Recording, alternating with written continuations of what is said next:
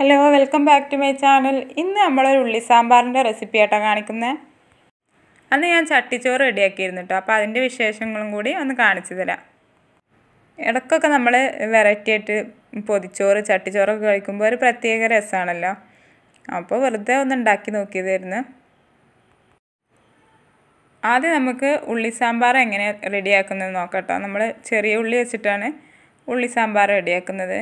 നമുക്ക് സാമ്പാർ റെഡിയാക്കാൻ ഭയങ്കര പണിയാണല്ലോ. കുറേ വെജിറ്റബിൾസൊക്കെ കട്ട് ചെയ്ത് ഭയങ്കര മടിയായിരിക്കുമല്ലോ.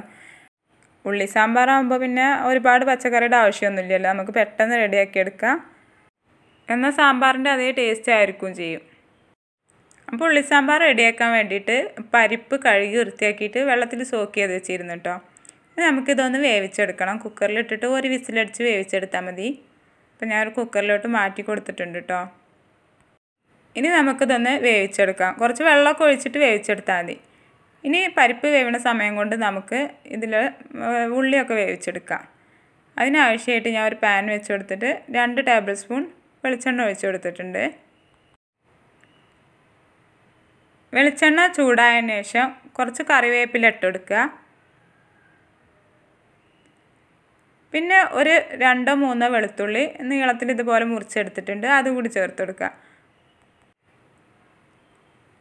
പിന്നെ ഒരു മൂന്ന് പച്ചമുളക് ആട്ടം എടുത്തിട്ടുള്ളത്. അത് നടുക ഒന്ന് മുറിച്ചെടുത്തിട്ട് അത് കൂടി ചേർത്ത് കൊടുത്തിട്ടുണ്ട്.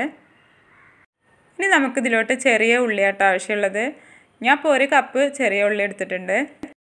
ചെറിയ ഉള്ളി കൂടിയാലും കുഴപ്പമൊന്നുമില്ല കേട്ടോ പക്ഷെ വളരെ കുറച്ചായി പോകരുത്. നമ്മളിത് ചെറിയ ഉള്ളി വെച്ചിട്ടാണല്ലോ റെഡിയാക്കി എടുക്കുന്നത് ചെറിയുള്ളിയുടെ റോസ് മെല്ലൊക്കെ ഒന്ന് പോയി കിട്ടണ വരെ ഒന്ന് മിക്സ് ചെയ്തെടുക്കാം. ഇത് നല്ലപോലെ വഴന്ന് വരാൻ വെയിറ്റ് ചെയ്യേണ്ട ആവശ്യമൊന്നുമില്ല കേട്ടോ ഇനി ഇതിലോട്ട് കാൽ ടീസ്പൂൺ മഞ്ഞൾപ്പൊടി അര ടീസ്പൂൺ മുളക് പൊടി അര ടീസ്പൂൺ മല്ലിപ്പൊടി കൂടി ചേർത്ത് കൊടുക്കാം. നമ്മൾ സാമ്പാർ പൊടി ചേർക്കുന്നുണ്ട് കേട്ടോ എന്നാലും ഇതുകൂടി ചേർക്കുമ്പോഴാണ് അതിന് പ്രത്യേക ടേസ്റ്റ് കിട്ടുള്ളൂ. ഇനി ഒന്ന് നല്ല പോലെ ഒന്ന് മിക്സ് ചെയ്തെടുക്കാം. നമ്മളിപ്പോൾ ചേർത്ത പൊടിയുടെ ഒക്കെ റോസ്മെല്ലൊന്ന് പോയി കിട്ടണ വരെ ഒന്ന് മിക്സ് ചെയ്തെടുക്കാം. ഇനി വലിയൊരു തക്കാളി ഇട്ട് എടുത്തിട്ടുള്ളത്. നമ്മളിതിൽ കുറച്ച് പുളി ചേർക്കും അതുകൊണ്ടാണ് ഒരു തക്കാളി എടുത്തിട്ടുള്ളത്. നിങ്ങൾ പുളി ചേർക്കുന്നില്ല എന്നുണ്ടെങ്കിൽ ഒരു രണ്ടോ മൂന്നോ തക്കാളി എടുത്താൽ മതി. ഈ തക്കാളി ഒന്ന് വഴന്ന് വരുന്ന വരെ നമുക്കൊന്ന് മിക്സ് ചെയ്ത് കൊടുക്കാം. പിന്നെ രണ്ടര ടേബിൾ സ്പൂൺ സാമ്പാർ പൗഡർ ഇട്ട് എടുത്തിട്ടുള്ളത്. അതുകൂടി ഇട്ടെടുത്തതിന് ശേഷം ഒന്ന് നല്ലപോലെ മിക്സ് ചെയ്തെടുക്കാം.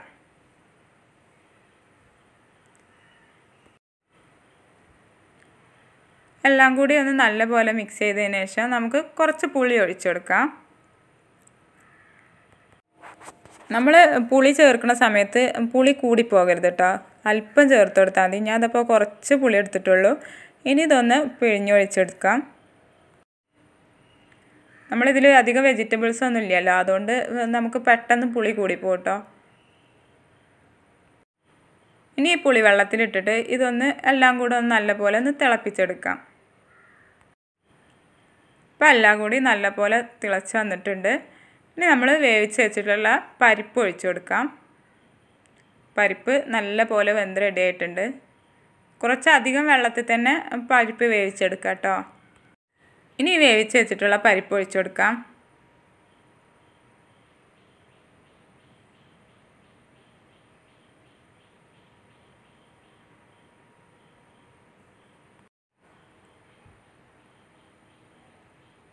ഇനി എല്ലാം കൂടി നല്ല പോലെ ഒന്ന് മിക്സ് ചെയ്തെടുക്കാം.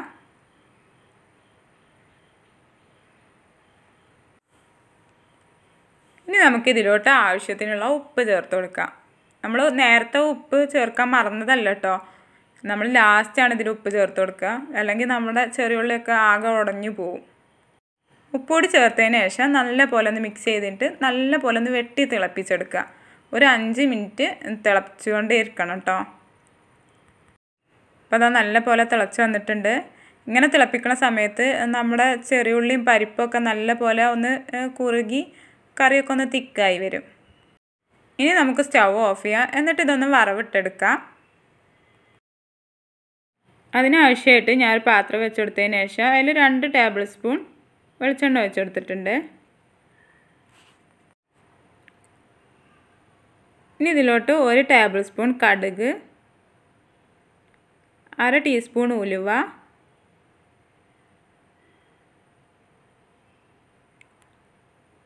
രണ്ടോ മൂന്നോ വറ്റൽമുളക്. കുറച്ച് കറിവേപ്പില. ഇനി ഒരു അര ടീസ്പൂൺ സാമ്പാർ പൗഡർ. ഇതൊന്ന് മിക്സ് ചെയ്തതിന് ശേഷം നമുക്ക് നമ്മുടെ കറിയിലോട്ട് ഒഴിച്ചു കൊടുക്കാം. നമ്മളിങ്ങനെ വറവിട്ടെടുക്കുന്ന സമയത്ത് സാമ്പാർ പൊടി ചേർക്കുമ്പോൾ ഒരു പ്രത്യേക സ്മെല്ലും ഭയങ്കര ടേസ്റ്റും ഒക്കെ ആയിരിക്കും കേട്ടോ ശരിക്കും നമുക്ക് ആ സാമ്പാറിന്റെ ടേസ്റ്റ് കിട്ടും കേട്ടോ അങ്ങനെ ചെയ്യുന്ന സമയത്ത്. അപ്പോൾ അതാ നമുക്ക് മടിയുള്ള സമയത്ത് സാമ്പാർ കഴിക്കണം എന്ന് തോന്നിയാൽ പെട്ടെന്ന് റെഡിയാക്കി എടുക്കാൻ പറ്റിയ ഒരു സിമ്പിളായിട്ടുള്ള സാമ്പാറിന്റെ റെസിപ്പിയാണ് അങ്ങനെ നമ്മുടെ ഉള്ളി സാമ്പാറൊക്കെ റെഡി ആയിട്ടുണ്ട്. ഇനി നമുക്ക് ചട്ടിച്ചോറൊന്ന് കണ്ടു നോക്കാം. അന്ന് മീനൊന്നും കിട്ടിയിട്ടുണ്ടായിരുന്നില്ല കേട്ടോ അപ്പോൾ ശരിക്കും ഒരു ചട്ടിച്ചോറാണോന്ന് ചോദിച്ചാൽ അല്ല ഞാനുള്ളത് വെച്ചിട്ട് ഒരു ചട്ടിച്ചോറ് റെഡിയാക്കി എടുത്തതാണ്. അതിനാവശ്യമായിട്ട് ഇതാ ഇതുപോലെ ഒരു മൺചട്ടി എടുത്തിട്ടുണ്ട്. ഇനി ഇതിൽ ഒരു കയ്യിൽ കറി ഒഴിച്ചു കൊടുക്കാം. നമ്മൾ ശരിക്ക് കറി വെച്ച ചട്ടിയിലാണ് കേട്ടോ ചട്ടിച്ചോറ് റെഡിയാക്കാൻ അപ്പോൾ ചട്ടിയിലല്ലാത്തതുകൊണ്ടാണ് ഇങ്ങനെ ചെയ്യണത് ഇനി നമുക്ക് ആവശ്യമുള്ള ഇട്ട് കൊടുക്കാം. ചോറിട്ടതിന് ശേഷം നമുക്കൊരു തവി വെച്ചിട്ട് നല്ലപോലെ ഒന്ന് മിക്സ് ചെയ്ത് കൊടുക്കാം.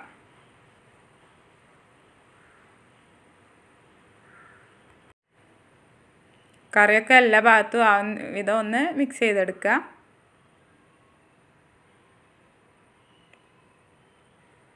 പിന്നെ അന്ന് ഞാൻ ബീട്രൂട്ട് ഉപ്പേരിയും അവിയലും ഉണ്ടോ ഉണ്ടാക്കിയിരുന്നത്. അപ്പോൾ ബീട്രൂട്ട് വെച്ചിട്ടുണ്ട്. ഇനി ഒരു സൈഡിൽ അവിയൽ വെച്ച് കൊടുക്കാം. ഇനി നമുക്ക് നമ്മുടെ ഉള്ളി സാമ്പാർ ഒഴിച്ചു കൊടുക്കാം. ഇനി കുറച്ച് അച്ചാർ വെച്ചെടുത്തിട്ടുണ്ട്.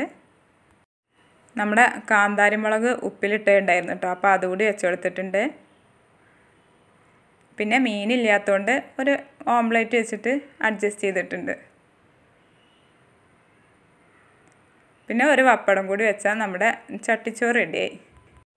ശരിക്കും മീനും കൂടി വേണ്ടിയിരുന്നു കേട്ടോ അപ്പോഴാണ് ഇതിന്റെ ശരിക്ക് ടേസ്റ്റ് കിട്ടുള്ളൂ. അപ്പോൾ ഉള്ളത് വെച്ചിട്ടൊക്കെ അഡ്ജസ്റ്റ് ചെയ്ത് ചെറിയൊരു ചട്ടിച്ചോറ് ആക്കിയതാണ് അപ്പോൾ നിങ്ങൾക്ക് ഈ ഉള്ളി സാമ്പാറിന്റെ ഒക്കെ റെസിപ്പി ഇഷ്ടമായെന്നുണ്ടെങ്കിൽ മറ്റുള്ളവർക്ക് കൂടി ഒന്ന് ഷെയർ ചെയ്ത് കൊടുക്കുക. അപ്പോൾ നിങ്ങൾക്ക് ഈ വീഡിയോ ഇഷ്ടമായെന്നുണ്ടെങ്കിൽ ലൈക്ക് ചെയ്യുക ഷെയർ ചെയ്യുക സബ്സ്ക്രൈബ് ചെയ്യുക. എന്തെങ്കിലും അഭിപ്രായം ഉണ്ടെങ്കിൽ താഴെ കമന്റ് ചെയ്യുക.